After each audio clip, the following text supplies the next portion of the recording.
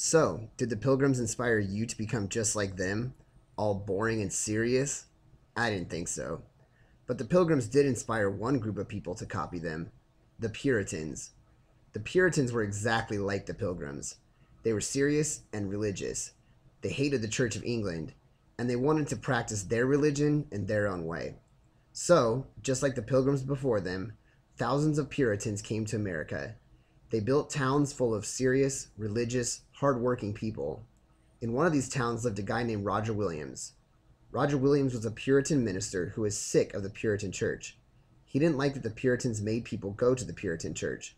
He believed that people should choose what church they wanted to go to. Meanwhile, in another Puritan town, a girl named Anne Hutchinson was telling people that they didn't need church or the Bible to learn about God. They could learn about God on their own. Obviously, the Puritans in these towns didn't like what Roger Williams and Anne Hutchinson were saying, so they arrested them and made them stand trial.